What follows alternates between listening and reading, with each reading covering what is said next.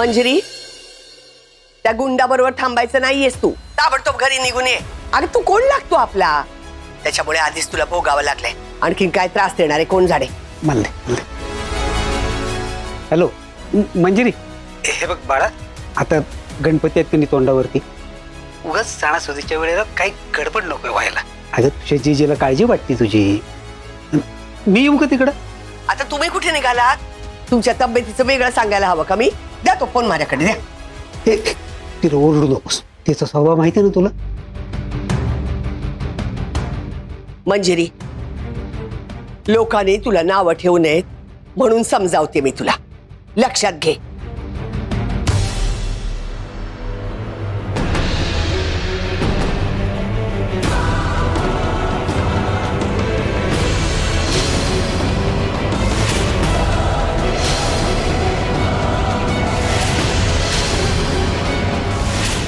मंजिरीताई आम्ही अनाथ आहे हो काय भाऊ आमचा आधार आहे जीजी अगं मी आत्ता घरी निघून आले असते, जर नानांना अटॅक आला, त्या रात्री रायाने त्यांची मदत न करता तो तसाच निघून गेला असता. रात्री वादळ आलं, तेव्हा रुजुतासाठी तो धावून आला नसता, तर मी आत्ता घरी आले असते. पण अगं, आज नाना जिवंत आहेत. रुजुता सुखरूप आहे. ह्याला कारणीभूत फक्त आणि फक्त राया आहे. निदान त्याची परतफेड म्हणून तरी मला इथे थांबू दे. आणि जीजी हे बघ हे बघ लोक काय म्हणतात ना याचा मला खरंच फरक पडत नाही. तू काय म्हणतेस ना?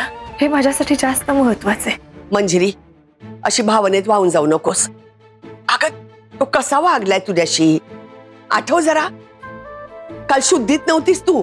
हो मी नव्हते शुद्धीत. नव्हती शुद्ध मला.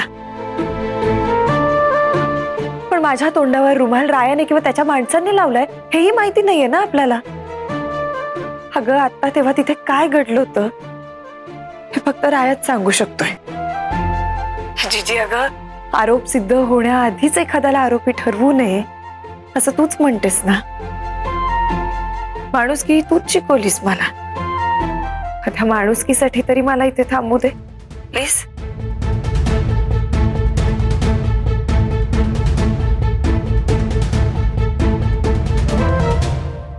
मंजिरी बरोबर बोलतीये.